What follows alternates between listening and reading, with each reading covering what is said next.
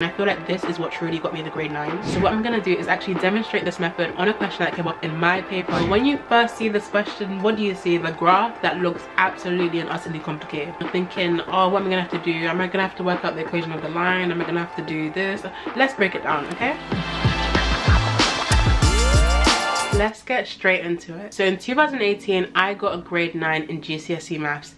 This was an absolute shocker for me because I went from absolutely hating maths and being the worst at maths in year 7 to getting one of the highest grades in my year in year 11. This was of course not easy and I really had to teach myself how to revise maths because I feel like no one actually teaches you. So I'm gonna let you know all of my tips and tricks into how I actually got this grade 9. So before we start be sure to give a big thumbs up and comment down below and subscribe for more content like this. And watch this video to the end to be able to find out how to answer any question they throw at you in GCSE maths. Okay so this video is to be split into three parts. We're to go into why people lose marks, how to perfect your exam technique, and also how to be prepared for any kind of question they throw at you. So let's move on to losing marks. So obviously the reason that people fail maths is because they lose marks on the exam. What you first need to understand is that maths GCSE is basically a game. It's literally a game. The aim of the game is to score the most points under time conditions. So if we think about it this way, the way that you get a grade 9 is to figure out why you're losing marks and to prevent that from happening. So let's talk about the top reasons that people lose marks in maths GCSE. So the first and the most important reason, which I'm sure you've experienced before,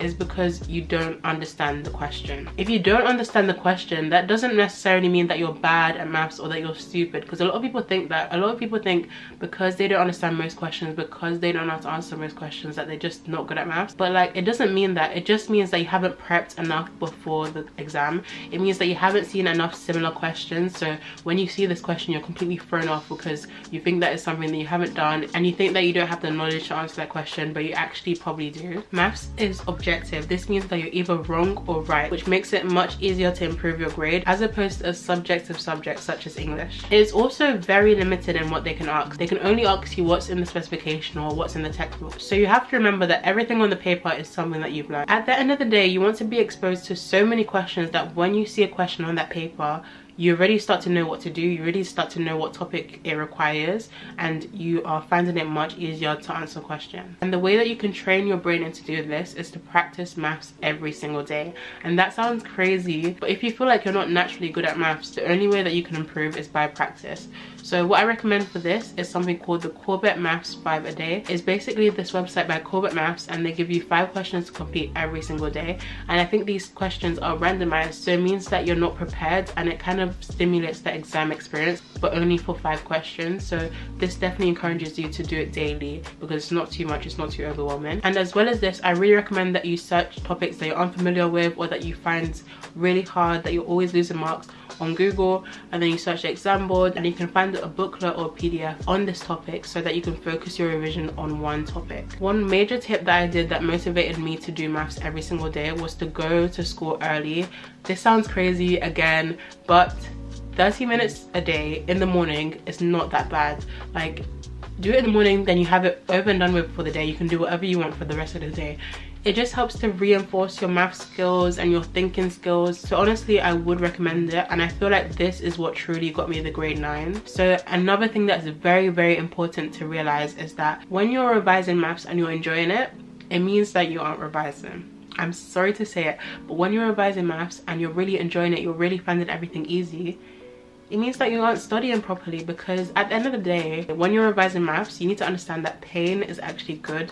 That uncomfortable feeling is what you need to get used to because it's better to feel this feeling whilst you're revising as opposed to the exam. When you have that feeling it means that you're experiencing something new. It means that you're testing your brain and that you're expanding your knowledge so that you can be prepared for more questions. So yeah just make sure that when you're revising you're not doing stuff that you already know. You're not doing stuff that you find easy because this is not going to help you. The aim of revising maths is to make sure that you're familiar with all of the topics because a lot of the questions in the actual paper that you get in the summer combine a lot of topics. So that's why it catches people out because they're not thinking about that. One of my favorite revision guides for maths is the ones by pearson. I'm not sure if they have them for every single exam board. I did edexcel and i found them amazing. Like they really summarize each topic and then they put a little question on the bottom and I think they put the answers on the back. It just helps you to quickly practice maths on the go like wherever you are and I just really recommend it. I think it also gives you a free online revision guide so definitely check it out if you have time. If you use these flashcards or any other flashcards or revision guide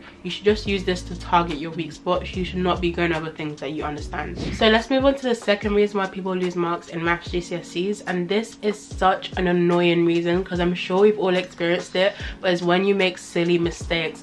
This was my ultimate nemesis in maths. Like every single time I really really thought that I got a really good grade. I, was, I really thought I did something but then I get the exam back and my grade is so bad and then I look through it because I made the dumbest mistakes ever and it's so annoying. And here is my surefire ways to avoid making these mistakes because they're so easily avoidable. So my first tip is to read the question. This sounds so obvious but when I say read the question I mean read that question. You better read that question at least two times before actually attempting it. Underline the keywords underline the key numbers that they give you because at the end of the day all of these worded questions they put put so much rubbish in them just to like throw you off just to get you like sidetracked.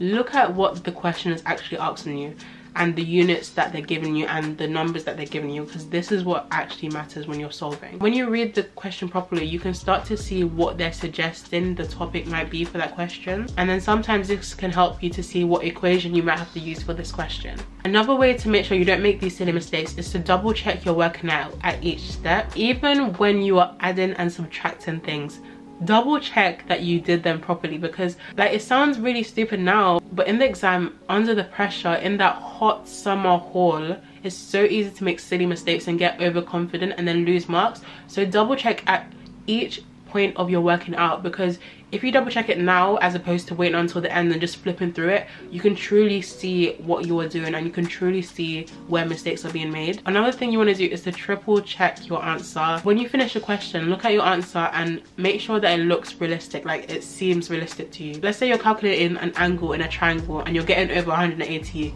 you must know that you did something wrong. Like you did something catastrophically wrong for you to get that answer. So just be sure to look at your answers and to make sure they're realistic in the context of the question. Now let's move on to exam technique which is very very important in math so let's imagine this.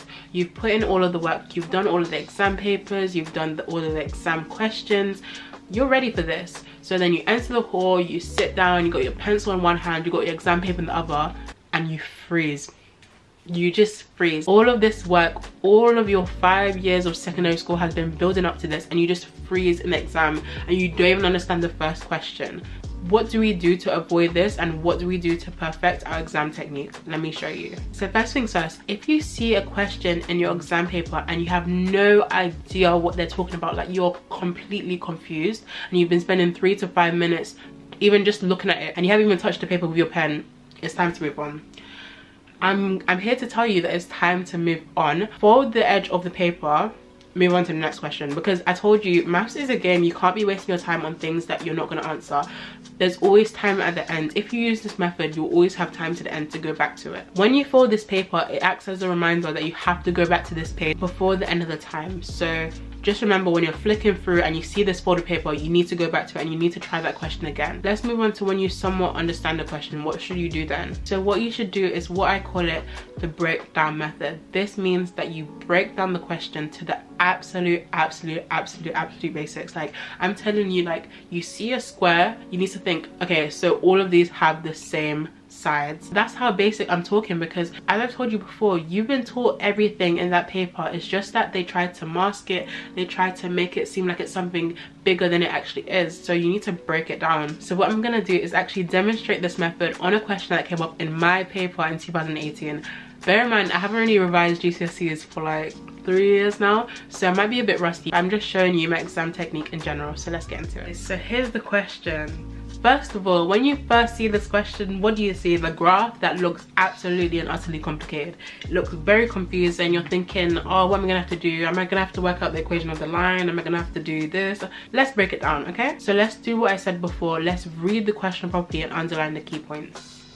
So what we have here the shape is made from four identical squares. What you should be thinking in your head, okay, so these must have the same size, like the sides must be the same length. We already understand that, okay? Because the square has the same length. So now they're also saying that the sides of the square are parallel to the axes. This means that they're in line with the axes. There's no diagonal thing going on. They're completely in line with the axes. Now they tell you the coordinates of point A, which is here, and then they tell you the coordinates of point B, which is here. The thing that you actually want to aim for as your answer is where point C is. So let's look at everything that they actually gave us. So they told us that there's four identical squares, fair enough. They told us the coordinates of two points, and now they want us to work out the coordinate of C. Okay, so let's look at where C actually is in terms of squares because in this question all we have is squares. They didn't give us any other information. So if you look at it from the x-axis c is actually two squares in away from a. Can you see it? So we have one square then we have another square. So it must be two squares away and then if we look at it from the y-axis c is actually two squares away from b what we have to do first is to work out the length of one side of the square and then we can work out the answer basically. So let's work out the difference between the x coordinates of B and C to work out the overall length. So what we do here is 38 minus 6 because that's how you find the difference in any question. We get 32. We know that there's four identical squares. So if we divide 32 by 4, that means that we'll get the length of one side. So 32 divided by 4 gives you 8. So now you know that the side of each square is 8. So let's work out the x coordinate. So to work out the x coordinate, as we said before, it is two squares away from A. So what we have to do is just add two squares worth to A. And two squares is 8 plus 8, so we got 16. Uh, let's add that to 6. So then you get 22. So that's the answer for x. Now let's work out y. So we said that the y coordinate of c is 2 squares away from b. So all we have to do is minus 2 squares worth from 36. And then we get 20. So the answer is 2230 very very simple. All that required was literally basic maths like just the knowledge that the square has equal sides. So when you see a question like this don't be thrown off by all of the theatrics. Just think about it simply and use the knowledge that you have to answer the question. Now back to the tips. Once you've gone through the questions you can actually do, make sure you go back to the questions that you folded over because these are still worth marks, whether you can complete them or not. So for these questions where you're very confused, all you want to do is work out as much as you can. Even if that means that you can't get to the answer work with what you have and try to get as much marks as you can. So what you want to do again is break down the question. You have all of the knowledge. You just want to break it down until you can answer something. So let me give you an example. Let's say we have a really long question not really sure what to do but we see this. We see that there's a distance of 1000 meters and we see a speed of 50 meters per second. Alarm bell should be ringing in your mind. You should be thinking about speed distance time time that little triangle. So you must know that from that you can work out the time. So just work out the time and leave it at that if you have to because that's one extra mark that you just got from answering something that you know how to work out. Try to answer everything as much as you can Try not to leave things blank because it just decreases your chances of getting a good grade. Finally, when you're finished the questions, what you have to do is look over the questions, make sure you've completed everything, double check you're working out, and then you're good to go. So let's move on to the final part of the video, which is how to be prepared for any kind of question they might ask you in Maths GCSE. With everything that's been said, the more you practice maths, the more you expose your brains to all of these different kinds of questions and the more likely you are to get similar questions on your exam paper. This will train your brain to recognize what you have to do from the question. When you see certain units, certain angles, certain shapes, your brain will naturally figure out what you have to start doing. Think of maths as a sport. You would not get better at basketball by reading books about basketball. You would get better by shooting hoops, practicing daily, playing games, that's how you would actually improve. Maths is the same thing. You can't just sit there, be passive and read the textbook and expect to be better at it. You have to constantly be doing maths questions. You have to remember in exam, especially when you're under so much stress and when you're scared and when you're nervous and you think that you can't do it, is that every single thing that is in that paper, you have been taught it and if you haven't been taught it because some teachers may not teach you everything you've definitely practiced it if you've been practicing all this time. So when you're faced with this new question you're really confused about what to do just think about it. Just sit back and think about it. Don't even think about solving it. Think about what topic it's actually from.